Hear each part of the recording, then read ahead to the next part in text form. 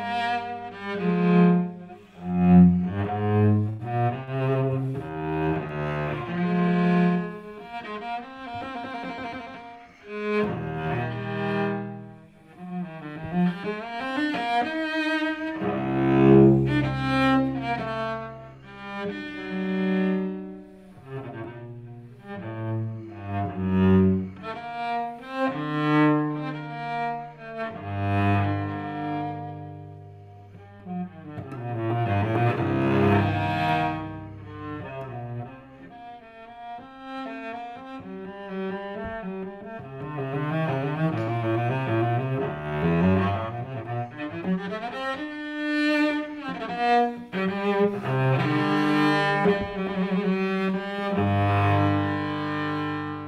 So that's the prelude.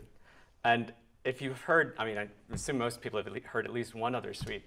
This one really deviates from the norm. Um, obviously, with the beginning, which can be played in different ways, but I, am playing it in a, in a, bit freer, a little bit more French overture, they call it, uh, way. Um, and then there's obviously this fugal part, which is, as most people know already, the only uh, suite that has either of those features. Um, it's, a, it's such a monster. in more ways than one. so um, maybe, maybe you have, so, there's so many things one could talk about with this suite, but I, I think for me, one of the things that came up, I'm not, no scholar, um, but I've been fortunate enough to, to interact with some over the years, and is this Baroque idea of affect and, and the character, um, the, the key of C minor being very significant, uh, with that. And then he accentuates all of that with this um, tuning down. Um, but you know, I think we think of Bach as being this household name now. I mean, of course he is. But this was really innovative at the time. And I think it's easy to lose sight of that. Yeah. Can you talk about the difference between playing the Bach suites on a Baroque cello versus a modern cello? Yes. So today I have a little bit of a hybrid um, I'm trying something out here. I have a Baroque bow and a modern cello. So I'm using an end pin. um, I have done it in the past on a, Baroque, a purely Baroque instrument. I just like this particular cello better. It's, cellos tend to be expensive. and so there's, there's that aspect.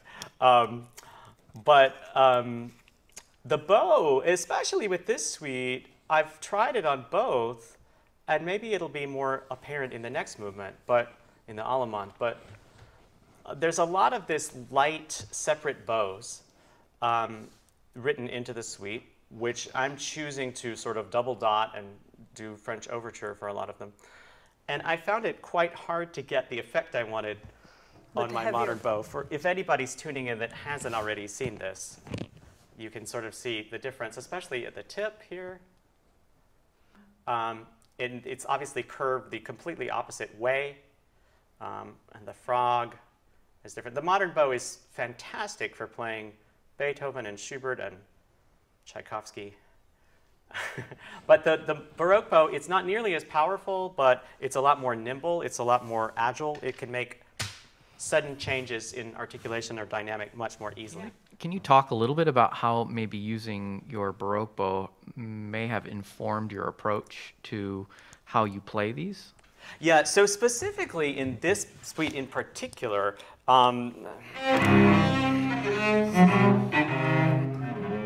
one can play it, it's written as 16th, so you can play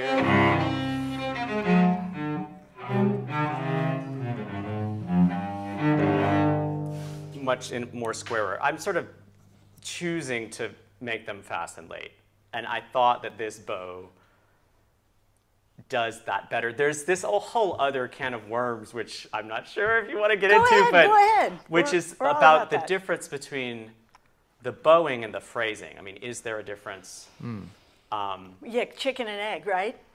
you know, and and I think the equipment is very much a part of that. I mean, I, I don't know that you can say this is the bowing and it works on any equipment, even two cellists, you know, in the same stand Right. partners playing the same bowing, they don't always sound the same. It depends on the way that you do it, the part of the bow you're in, and stuff like that. Um, Right, right. Yeah. And has the bow changed your concept of of sound on on how you approach that? Sure. Um, this bow doesn't really bounce per se. The tip is a lot lighter feeling than the, the modern bow. Um, the modern one is great for sustaining. I mean, you can obviously crescendo, and I was, you know, you can still crescendo on down bows, and um, but has it changed my concept? Yeah, it's a it's a thinner sound, and there tends to be more decay. Whereas I I think one can do, you know, I've heard wonderful performances with modern equipment um, last week. As a matter of Um, fact, But you have to kind of fidget with it a bit more Mm-hmm, to get it to get the effects you want.